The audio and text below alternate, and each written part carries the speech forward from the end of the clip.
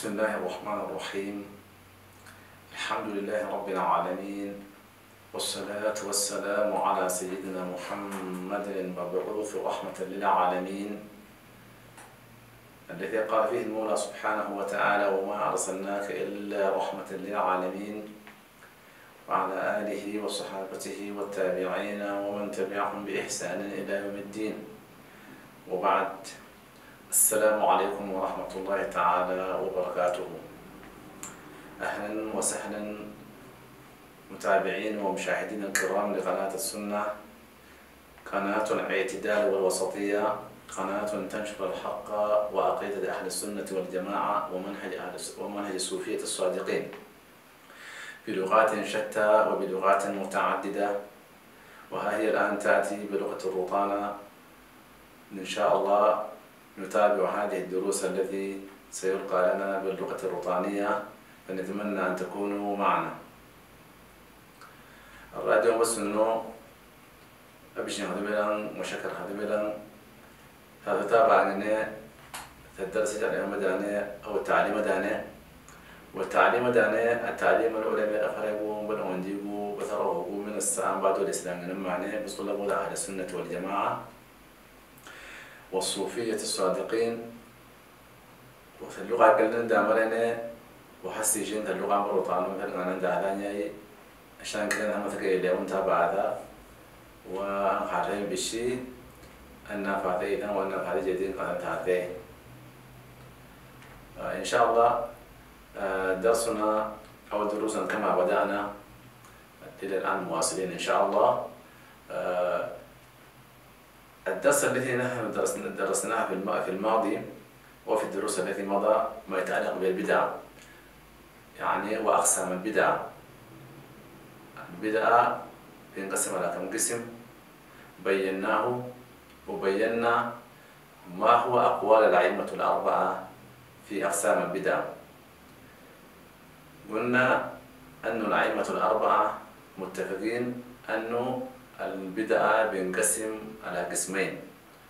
يعني في بدعة حسنة وفي بدعة سيئة.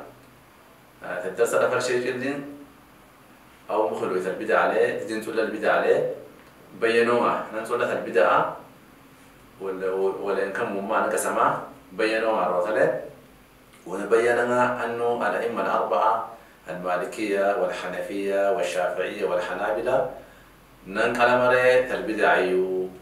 هل صحيح. البدع سيما بيشي ومسيش وسيم بشوني ولا ننقل مرة بل بينوها جلين ونأكد عنه الأئمة الأربعة تافقوا أن البدع سيما بيشي وسيم بشوني ونرى ثنا أنه ما من نسيم بدأ المشاكل اللي ما بقى نبيه بلدين جلتين البدع شوني معناه الله أحمد بن تيمية.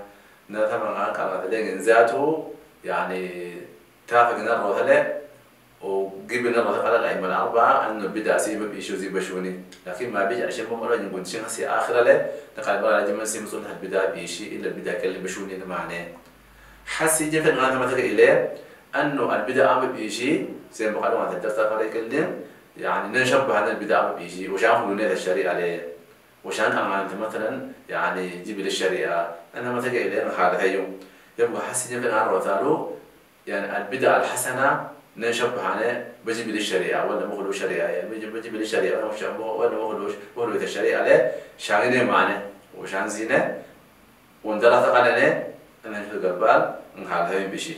قال المؤلف ذكر بعض الأمثلة عن البدعة الحسنة. ومن البدع الحسنة ما تقدم من أن عمر بن الخطاب رضي الله عنه جمع الناس على صلاة التراويح في رمضان. وكانوا في أيام رسول الله صلى الله عليه وسلم يصلونها فرادا. وقال عمر عن ذلك نعم البدعة هذه. من البدعة الحسنة يعني مخلوة الشريعة لما بجيب للشريعة آه سيدنا عمر بن الخطاب رضي الله عنه السامع الأمير بالمؤمنين يعني بعد ما الرسول مشي وبعد ما سيدنا أبو بكر مشي يعني ننقل إيه؟ في البدع الحسنة باسي.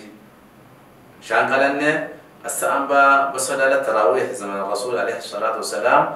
أي واحد أرجع الإنسان لأنه. وفي زمن سيدنا أبو بكر الصديق خلافه سامد الأمير أي واحد على صلى عنه لما بعد ولا سيدنا عمر ترى امير ترى امير رب المؤمنين يو يعني نتقى ما بي ما صلى أبو شمبرو واحد واحد واي واحد صلى عليه شما دنا إذا المسجد ركنون برما بيرو أي واحد عليه تلاقي نقلنا بدل ما بينا ما عليه تلاقي أي واحد عليه تلاقي لو بورا لي ألقوا ما صلى نقول ننجينا نشاور نقول على شو؟ وبعد قوالي نقرر القرار تلاقي نقلنا جدا نادمين بلا معنى. اليوم التالي اليوم التالي طوال نبورا ما بيرو وثم كان الإمام نقول نقل الإمام نقول صلى عليه بيقول asal dawa ibn ngono tawal ba'da shinu ni mathoi ma dani ku ma sana ku tillet al-imam kuno بعد قال نعم البدعة هذه. نقل نعم البدعة هذه لأنه مدينة جل ولا زي من الرسول ولا زمن ولا زمن سيدنا أبو بكر الصديق ولا قال الرسول أن نجيها. طيب. لكن من نبور ما بيعلو نما دنا كمان هدي البدع معنا لكن بدع نانو بدع حسنة معنا بدع بيجي معنا لأنه لا يجي شوني نقل بدع ما بينا ما صلى ما صلى أي واحد صلى على جلاي أبو لا ما صلى نقول نقل نقل رجع ننزات نقل بد نعم البدعة هذه يعني معناته أكد أن البدع معناه لا شيء بدع البدع الحسنة وما بما ذكر جل يحسي لليلة ما أنا صلى صلاة التراويح جماعة ومدمرة البدع الحسنة معناه لكن عشان مرة دائما جرد مرة ولا جنب الشريعة لنا معناه نقل ما بيه إما نقل ما بيه جنجر تدبو البدع ولا جل الرسول حرام معناه وضلال معناه ما بيزين بل ولا هم إليه ولا جبنا عند مرة. وروى البخاري في صحيحه أن عثمان بن عفان أحدث أذانا ثانيا يوم الجمعة. ولم يكن هذا الآذان في أيام رسول الله صلى الله عليه وسلم وما زال الناس على هذا الآذان الثاني يوم الجمعة في مشارق الأرض ومغاربها. وكذلك روى الإمام البخاري في صحيحه أن سيدنا عثمان بن عفان في خلافته لما كان أمير بعد يعني انتهاء الإمارة بتاع سيدنا عمر بن الخطاب يعني نندي الآذان الثاني يوم الجمعة. يوم الجمعة الآذان الأذان في زمن النبي عليه الصلاة والسلام الأذان في زمن سيدنا عمر سيدنا أبو بكر الصديق في زمن سيدنا عمر الأذان واحد مال واحد شاغنه ثلاثة نفر أذني من غاشر من مرثله ومن غاشر مرثمه ومن غاشر مرثمه أن ثلاثة مري أذن وقتلوا قلوا كل يوم مري تسوق تسوق القول مري أذن الزاد القول قالوا. بعد ذلك الإمام هي نبدأ الخطبة. شمس ينن زمن الرسول عليه الصلاة والسلام. وفي زمن سيدنا أبو بكر الصديق وفي زمن سيدنا عمر بن الخطاب. لما جاء سيدنا عثمان لما شاف أنه يعني مقيرنا نافع ما بي طوالا نجي خلوانا يبقى خلوانا جي نبالي للي لنا إيه أنت اللي هسي على هذا خلوانا معنا يبقى البدعة معنا لا سيات بدعة بدعة حسنة. بدعة حسنة. وروى البخاري أيضا في صحيحه أن الصحابي الجليل خبيب بن عدي أول من أحدث أول من أول من أحدث صلاة ركعتين عند القتل. كذلك يعني روى الإمام البخاري في صحيحه في واحد صحابي يعني في يده خطأ. أما بين ولا بشيء الساق لما نهم في يده نقل لما هي بقى أصل ركعتين عشان بعد قبر في يده بقى تجي أصل ركعتين بعد قبر في يده يبقى والكلام في زمن النبي عليه الصلاة والسلام يعني ما ينازي إمانه يبقى لما نبقى خلنا مرة نعمل في دوم خلنا مرة بقى يصل ركعتين في نبقى مرة أو صلى ركعتين وبعد ذلك في بريد المو يبقى نما دعاء الحديث ترى ثليو أنه يعني لما نبقى نبقى يصل ركعتين ولا ولا رسول رسول الله ولا قال رسول لا رسول قال أنه ما لا البيت ولا تمن صلى ركعتين ولا يعني ولا مثلا ديال رسول عليه الصلاه والسلام ولا جنه ولا قال في ديالها يبقى ان ديالنا وشن بجينا يعني بحال بحالنا رسول يو مدحنا. نقل نجن جون بلو. شان صلى ركعتين بعد دغانا مشا بشي. نقلنا بشي وروى البخاري أيضا في صحيحه عن رفاعة بن رافع الأزرقي الأزرقي قال كنا يوما نصلي وراء النبي صلى الله عليه وسلم فلما رفع رأسه من الركعة قال سمع الله لمن حمده. قال رجل وراءه ربنا ولك الحمد. حمدا كثيرا طيبا مباركا فيه فلما انصرف قال من المتكلم؟ قال أنا. قال رأيت بضعة وثلاثين ملكا يبتدرونها أيهم يكتبها أول؟ أيهم يكتبها أول. قال ابن حجر في الفتح الباري. ابن حجر الأسقلاني في فتح الباري في شرح فتح الباري. واستدل بهذا الحديث على جواز إحداث ذكر ذكر في الصلاة غير مأثور إذا كان غير مخالف للمأثور. آه طيب. الإمام البخاري أخرج حديثا وهذا الحديث عن رفاعة بن رافع الأزرقي قال كنا يوما نصلي خلف النبي عليه الصلاة والسلام. هذا الصحيح يقول كنا صلى الرسول يوم من الأيام. لما بس خلانا مثلا صلى طبعا معروف أن الإمام قد سمع الله لمن حمده المأمون نقل له ربنا ولك الحمد نقل له. أها الإمام لما رفع رأسه النبي عليه الصلاة والسلام لما رفع رأسه نقل سمع الله لمن حمده.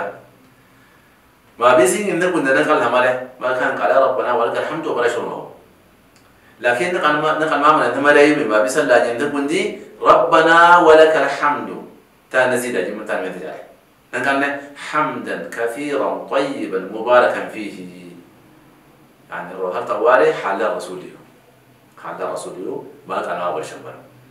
طيب كمان بحالا لما قال شمبرو آه عندنا كشفقة نقول لك الملائكة ببثوا إيه طوال استار وتبع الرسول بنو بفعل إلهام ملائكة كتب جلو قال أكثر من 30 ملائكة معنا أي واحد فعليا كتب أي واحد فعليا كتب أي واحد فعليا كتب. مشان مشان مرتين الرسول بعد ما النبي عليه الصلاة والسلام بسلانا وبغدنا السلاء نلقى سمو عليه مع بندي نقعنا من المتكلم؟ من الذي قال؟ سمع ربنا ولك الحمد حمدا كثيرا طيبا مباركا فيه. قال ما منا علم ماني نقوم معنا طيب. أما دول ملائكة يبقى أكثر من 30 ملائكة. يعني سبقوا يعني قطو مرة يعني أي واحد قال إلا عليه كتب أي واحد قال كتب من يبقى رتبة شبيه وهي يجينا معنا يعني. آه بعد الإمام ابن حجر الأسقلاني في فتح الباري في شرح صحيح البخاري نقلنا والحديث الباجي قلت النائي أنه ما بباقي دري نحصر وجمة جديد فالسنة يو لكن بشرط بقى خالفنا السنة. يعني نحصل جمع جديد قدر راشق هذا لكن بقى خالف من السنة مخلوة السنة ليه؟ قدرنا وروى أبو داود في سننه عن عبد الله بن عمر رضي الله عنه رضي الله عنهما أنه كان يزيد في التشهد وحده لا شريك له ويقول أنا زدتها. سيدنا عبد الله بن عمر رضي الله عنهما يعني هو كان يزيد في التشهد يقول لا شريك وحده لا شريك له. وحده لا شريك له ما ورد معناته. يعني الولد يعني أشهد أن لا إله إلا الله وأشهد أن محمدا رسول الله وإلى نهاية التشهد. لكن هو لما كان يقرأ التشهد لما نجي أشهد أن لا إله إلا الله يزيد شنو؟ وحده لا شريك له. ثم بعد ذلك يقول شنو؟ أشهد أن محمدا عبده ورسوله. يبقى وحده لا شريك له ده ولا زي نقل أيوة الانزيداني وزيداني ولا خالف الشريعة. ده سيدنا عبد الله بن عمر بن الخطاب. وهؤلاء سيدنا مثلنا سيدنا عبد الله بن عمر من مسمون من فقهاء الصحابة رضوان الله عليهم. آه إلى هنا إن شاء الله. آه نقف قليل وبعد فاصل قصير نرجع ونواصل درسنا. إن شاء الله لذلك آه إن شاء الله تبارك شو مثوذا هو سردا آه درسنا كا مثل البال أن حاله نمانة نسنة بقى البدع الحسنة ولا من البدع الحسنة نشبهنا حاله إن شاء الله. الله! صلى الله على محمد صلى الله عليه وسلم. صلى الله على محمد صلى الله عليه وسلم. بسم الله الحمد لله والصلاة والسلام على رسول الله صلى الله عليه وسلم. آه إن شاء الله آه نرجو ونواصل درسنا من المكان الذي نحن وقفنا فيه. آه أما أنت مثلا إن شاء الله هذا الدرس قد عن شروعه ومن البدع الحسنة الاحتفال بمولد النبي صلى الله عليه وسلم في شهر ربيع الأول. شكرا لله على إظهار هذه النعمة النعمة العظيمة في مثل هذا اليوم. وأول من أحدثه ملك إربلا في القرن السابع الحجري وكان عالما تقيا شجاعا سنيا. يقال له المظفر. جمع لهذا كثيرا من العلماء فيهم من أهل الحديث والصوفية الصادقين فاستحسن ذلك العمل العلماء العمل العلماء في مشارق الأرض ومغاربها منهم الحافظ ابن حجر الأسقلاني وتلميذه الحافظ السخاوي وكذلك الحافظ السيوطي. فقد ذكر الحافظ السخاوي في فتاويه أن عمل المولد حدث بعد القرون الثلاثة. ثم لا زال لا زال أهل الإسلام من سائر الأقطار في المدن الكبار يعملون المولد ويصدق ويتصدقون في لياليه بأنواع الصدقات ويعتنون بقراءة مولده الكريم ويظهر عليهم من بركاته كل فضل عميم. آه طيب نحن الآن نتكلم في مسألة الاحتفال بمولد النبي عليه الصلاة والسلام والاحتفال بمولد الرسول عليه الصلاة والسلام بدعة حسنة وبدعة محمودة وبدعة فيه فوائد كثيرة جدا جدا بالنسبة للأمة الإسلامية. فلذلك آه ننظر إلى الأدلة التي يدل على أن الاحتفال بمولد رسول الله صلى الله عليه وسلم في كل سنة هي من الشريعة الإسلامية ليس من البدعة المحرمة كما يزعم البعض أو كما يزعم المشبهة المجسمة. ومن البدعة الحسنة قال الاحتفال بمولد النبي عليه الصلاة والسلام. وأول من أحدث هذه الاحتفال بمولد رسول الله صلى الله عليه وسلم ملك يسمى ملك من ملك إربلا في القرن السابع الحجري يعني قبل 700 سنة. هذا العالم كان عالم تقي كان عالم سني كان رجل شجاع. كان رجل له مكانة في الشريعة الإسلامية. جمع لهذا المسألة يعني علماء المسلمين فيهم المحدثين الناس اللي بيعرفوا حديث الرسول عليه الصلاة والسلام وجمع من الفقهاء وجمع من الصوفية الصادقين الناس الملتزمين بشريعة الرسول عليه الصلاة والسلام جمعوا وبعد ذلك عمل الاحتفال. يعني عمل الاحتفال وبعد ذلك يعني على علماء كانوا بعد ذلك يعني مدحوا هذا الفعل وجعلوه عملا منتشر في كل ربوع الدنيا.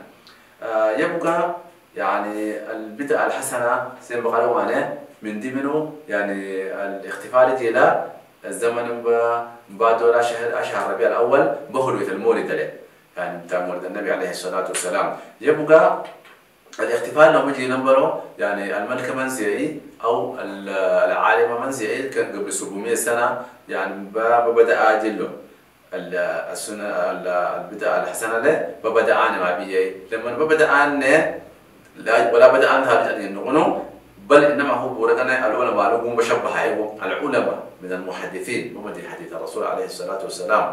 بقدر يقوم لا فقد يجيب يشوف بشوني ومن العلماء الصوفية الصادقين ومن الفقهاء يعني على وجه بعد ذلك مرجع الاحتفال. لما نبجي الاحتفال يعني الاحتفال ديانا تنجي له يجي بيشمل لنا معني ولا بيجي شوني.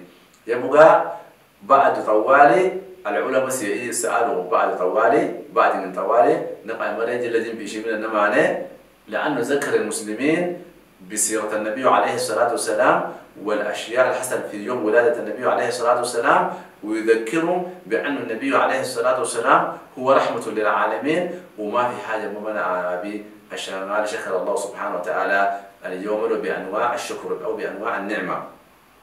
يبقى بعد طوال يعني الحافظ ابن حجر الأسقلاني وتلميذه الحافظ السخاوي قال يعني هذه الفعل الفعلوه يعني الفعل اللي بيجي مننا معناه. وما بين مثلا مالي الحفاظ المامري يعني. ما بين مد الحديث بو ومد الدين بيجي بشوني الشريعة يوم معناه قال وللحافظ السيوطي رسالة سماها حسن المقصد في عمل المولد.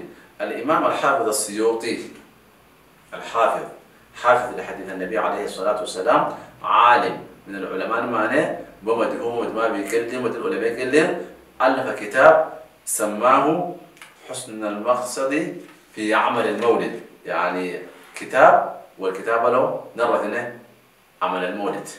يعني عندي المولد ولا جينا وش ما نصحي ولا ما نصحي من نرى ذيو. وقال في الحاوي وقال في الحاوي للفتاوى إن أصل عمل المولد الذي هو اجتماع الناس وقراءة ما تيسر من القرآن. ورواية الأخبار الواردة في مبدأ أمر النبي صلى الله عليه وسلم وما وقع في مولده من الآيات ثم يمد لهم سماط يأكلون وينصرفون من غير الزيادة على ذلك هو من البدع الحسنة من البدع الحسنة التي يثاب عليها صاحبها لما فيه من تعظيم قدر النبي صلى الله عليه وسلم وإظهار الفرح والاستبشار بمولده الشريف. يعني هذه من الأدلة التي يستند إليها المسلمين أنه عندنا دليل اللي بيثبت من علماءنا المعتمدين أنه عمل المولد والاجتماع له وذكر يعني ما ورد من الأخبار الصحيحة يعني عند مولده وما يقدمون للناس من الطعام يأكلوه والناس يقرأوا شيء من القرآن والناس يقرأوا أخبار يعني أخبار النبي عليه الصلاة والسلام ومولده كيف ولد وسيرته وكيف نشأ وكيف تربى. هذا أمر ممدوح ومطلوب ولا بأس به بل يجمع شملة الأمة الإسلامية. كم من الناس يجتمعون في الاحتفال بمولد رسول الله صلى الله عليه وسلم؟ يعني الدليل قال إن النبلة أنه الدليل قليل أنه يعني في كتاب اسمه الحاول الحاول الفتاوى في كلامنا بقول إن اصل عمل المولد الذي هو يعني الناس يجتمعوا شغال بورالو والقرة المولد والقدم الطعام بيه اثم السالو وبعد القرة مثلا. يعني الرسول عليه الصلاة والسلام شان ولني ومنذ ولنا خسلئي وبعد ذلك نما دلئي وبعد ذلك شنبادو ذاته. يعني جنس يقول ما بحث له جلد وبعد ذلك قال القدم الطعام على أول فرو جندي أو مثلا ألبي مثلا. أو الفرح جينا بلت اللي قال ولا ما يجمم يعني بل إنما هو مسألة فيه فائدة كبيره معنا ليش شنو ما بي بقول السعادة؟ وكم ألف وكم ميات بقول الرغم من أوشيكو بقرأ المولد النبوي الشريف أو البدر يعني سيرة النبي عليه الصلاة والسلام. يبقى نبا منعاني هو من البدعة الحسنة يعني بيجي الحسن بيجي البدعة بيجي معنى ولا البدعة مشبوه الشريعة لأن معنى. يبقى ما بنكر نجله يبقى ولا يجد الدليل بالمرة بل إنما هو الكراهة. نزين بشي بش نزين بشي النبي عليه الصلاة والسلام وما بيه بحب الرسول عليه الصلاة والسلام. الحسادة معنى. جنس له الحسادة؟ بطل الشيء الحساده ما يقول الحساده معنى جنسي ما بشي ثم قال الحافظ السيوطي ما نسهم قلت بل خرج شيخنا شيخ مشايخ الإسلام خاتمة الأئمة الأعلام في في إلى الاحتفال بمولد النبي صلى الله عليه وسلم على أصل ثابت. وهو ما ثبت في الصحيحين من أنه صلى الله عليه وسلم دخل المدينة فوجد اليهود يصومون يوم عاشوراء. فسألهم فقالوا هو يوم أغرق الله سبحانه وتعالى فيه فرعون عليه لعنة الله ونجى موسى عليه السلام فيه. فنحن نصومه شكرا لله عز وجل. فقال النبي صلى الله عليه وسلم فأنا أحق بموسى عليه السلام منكم. فصامه وأمر بصيامه وقال إن عشت إلى قابل لأصومن التاسعة. قال شيخنا فيستفاد منه فعله الشكر لله تعالى على ما من به في يوم معين من إسداء نعمة أو دفع نقمة ويعاد ذلك في نظير ذلك اليوم من كل سنة. والشكر لله تعالى يحصل بأنواع العبادة. كالسجود لله تبارك وتعالى وكالصيام والتلاوة. وأي نعمة أعظم من النعمة ببروز هذا النبي صلى الله عليه وسلم في ذلك اليوم. يعني الإمام الحافظ السيوطي قال شيخنا شيخ الأعلام ويقصد به ابن حجر الأسقلاني قال يعني خرج نصا من أصل الشريعة. خرج أصل يعني يعني دليل على أنه الاحتفال بمولد رسول الله صلى الله عليه وسلم ليس بدعة حسنة بس فقط. ليس بدعة حسنة بس فقط بل إنما هو النبي عليه الصلاة والسلام فعل شيئا يشير إلى هذا. لأن النبي عليه الصلاة والسلام لما حاجر إلى المدينة المنورة وجد اليهود يصومون اليوم العاشر. فسألهم عن سبب صيامهم. قال لهم لم تصومون هذا اليوم؟ قال نحن نصوم هذا اليوم لأن اليوم ده ده اليوم الحصل فوق المناظرة بين سيدنا موسى عليه السلام هم اليهود يعني تعبير سيدنا موسى. يعني حصل المناظرة بين سيدنا موسى وفرعون عليه لعنة الله. تعرفون القصة بتاع فرعون؟ لعنة الله. كيف يعني عمل مشكلة مع سيدنا موسى؟ لما ربنا سبحانه وتعالى أغرقه في البحر. قال اليوم ده ده اليوم الغرق فوق فرعون وسيدنا موسى نجا من بلاو نجا من البلاء بتاع فرعون. عشان كده قال نصوم اليوم ده شكرا لله سبحانه وتعالى. دي ما صومنا اليوم ليش نبقى مش قاعد من أن اليوم بقول سيدنا موسى العمر اليوم له يوم عاشوراء. لكن هل يوم عاشوراء بتاعت يوم المدينة لما النبي عليه الصلاة والسلام لما بحاجة المدينة هل اليوم الأرمانيا رتبة ما آلاف السنين معنا هذا رتبة ما آلاف السنين معنا لكن شوف اليهود لليوم هيقلين ولل هم متمسكين بأنه اليوم اللي حصل فوق المناظرة بين سيدنا موسى وفرعون عليه لعنة الله هم قاعدين يشكروا الله سبحانه وتعالى بالصيام. النبي عليه الصلاة والسلام قال أنا قال أنا أولى منكم بموسى لأنه هذا ذاته خرب دين من يعني خرب دين الآن بعد بعد الإسلام المفروض ما أمر الإسلام قال أنا أولى بموسى منكم قال أمر النبي عليه الصلاة والسلام سام اليوم العاشر وأمر الناس أن يصوموا يوم العاشر طيب وبعد ذلك قال لئن عشت إلى القابل يعني إذا كان ربنا أحيانا لحد السنة الجاي قال أنا أصوم شنو؟ يعني يوم التاسع ذاته. اذا العلماء هنا ماذا قالوا؟ الشيخنا الشيخ ابن حجر الأسقلاني ماذا قال؟ قال فيستفاد منه يعني هذا الفعل الفعل الرسول عليه الصلاة والسلام وهو اطلع عليه من اليهود وبعد ذلك قال أنا أولى منكم بموسى. قال معناته بيورينا أن اليوم الحسن فوق النعمة. الفيه خير بالنسبة للمسلمين هم بيقدروا عشان يعملوا شنو؟ يعني أي حاجة في اليوم ده الفيه خير. شكرا لله سبحانه وتعالى. وهل في حاجة أعظم من ظهور النبي عليه الصلاة والسلام الوصول الرسول عليه الصلاة والسلام إلينا يعني مولده أليس أعظم؟ يعني رحمة. الله سبحانه وتعالى قال قال فيه وما أرسلناك إلا رحمة للعالمين. يبقى ظهور ذاته ظهور عشان أنزهر ثاني عشان قال ولا اليوم له ده أكبر نعمة وده أكبر رحمة وده يعني مطلوب من الناس أن يشكروا الله سبحانه وتعالى في هذه اليوم. إذا كان اليهود هم يشكرون الله سبحانه وتعالى لأن الله سبحانه وتعالى نجى سيدنا موسى. زمان زمان قبل آلاف السنين.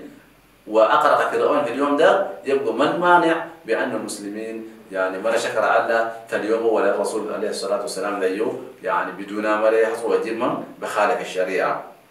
يعني ولا ما يتم يعني ده نعمة كبير. وظهور النبي عليه الصلاة والسلام على وصول الرسول عليه الصلاة والسلام وصلنا ثانية ده نعمة كبير. ما في أي زول ما ذكرنا إلا من أعمى الله يعني بصره وما وما عاد يعرف شنو؟ الحق. فالشيء الذي نحن نريد أن نذكره هناك في في في كلام بقوله الناس المنكرين. الناس المنكرين بقولوا يعني معناته يعني دي منع المولد با يعني عشان ما بيباجي المعصية فيبقى يعني في حاجة مولد ما بي منك له ما نقلا يعني ها دي منع كمان مولد عشان ما بيبالي ماي يعني كما يقول ثالو بال بال راسيرة با ولا بال مال حرام. يبقى نقول عشان نبقى فهم رحم العلماء فهم البدعه إلى كم ينقسم؟ يقسموها إلى كم؟ وبعد فتح فهم الدليل والعلماء قال ما ليس روح عليهم بعد ذلك يقول مثلا يقول روح روح عم بلو. جيب روح عم بلو ثمان بلو روح هيدي اتغير جنبه دان المعنى شاهد داني. ما بم بعدوي بجي المعصية. اهم مولدو المعصية ولا قلو. إذا تدريد بالمولدو المعصية تلو بلو من حصل الزنب جاي من حصل الثمان جاي لأنه مثلا ما ممكن. ما من سي باقر ما بيجي ما في المسجد. وادهم ما بيجي الصلاة لا يجوز المسجد لا يو عشان ما بيجي اقوى شهر ولا بقر دي ما دي مثلا ما عملنا ما بيسي ما قر عبش فدي بدل مسجد ما بيسي ما ما قر فدي ما بيفدي فدي فدي فدي بدل هذا المسجد. يبقى ما بقر فدي وهذا قال ده أن بعد وقت المسجد لا بيقر فدي ده بعد وقت المسجد شاب بيقر مش فاعلية لا. بل ومنع ما بيمتي المعصية ما بابا قريب بل ومنع. يبقى ما بيمتي المعصية المولد من المنع على لكن المولد الأصل تأيو ولا سنة حرمنا العلماء كلهم متفقين على أنه الاحتفال بمولد رسول الله صلى الله عليه وسلم هو من البدع الحسنة. ولا زي ما هو قال أنه حرام. إلا الخوارج خوارج الزمان أو خوارج هذا الزمن الذين هم شنو؟ مبتدئهم بأنفسهم في عقيدتهم وفي تعاملهم الشرعية كلها. عشان كده لازم أما إذا أن الاحتفال بمولد النبي عليه الصلاة والسلام حتى الرسول عليه الصلاة والسلام بنفسه احتفل بمولده. يعني اهتم بيوم الولد فوقه. جاء في الحديث أن النبي عليه الصلاة والسلام كان يصوم يوم الخميس ويصوم يوم الاثنين. حينما سئل عن صيامه يوم الاثنين ويوم الخميس قال يوم الخميس يوم يرفع فيه الأعمال وأنا أحب أن ترفع عملي وأنا صائم ويوم الاثنين يوم ولدت فيه ويوم بعثت فيه. فإذا أنا أصومه شكرا لله سبحانه وتعالى. شوف لحد هذا. يعني نقول هنا الحديث هذا. أن النبي عليه الصلاة والسلام ذاته هو في راسه. يعني هو في نفسه كان بيهتم باليوم بتاعه.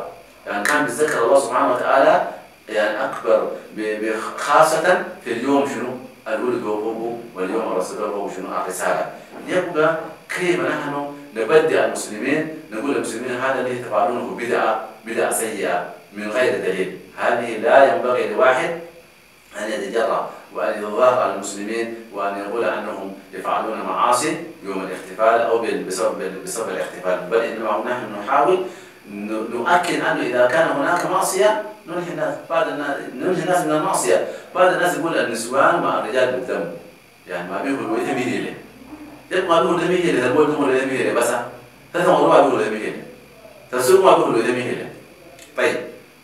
فالمسجد يوم المولد مع الحرامة ولا تمروا حتى بقولوا أن يتمروا بقولوا أن نبسك ما حرام. كان تسوق كان تتمروا كان عام معنا ومسجد بقولوا ثانية ما لك حرام. يبقى ننقل عن المسجد ولا ننقل عن شنو اليوم دير الاحتفال. عشان كده دين شبه هاي ثان روثا الروها معنا يوم شبه الروثا وقرأت لنا لأنه الدليل ما تروا وما نعمل مولدتا ولا قدموا من قد جنجي ولا قدموا ثم بحثوا ثم منع الاحتفال ده بجري يوم ولادة النبي عليه الصلاة والسلام. فهذه ما أردنا أن نتكلم فيه إن شاء الله يعني نبذة قليلة يتعلق بال يعني بالبدعة الحسنة التي يوافق الشريعة ولا يخالفها.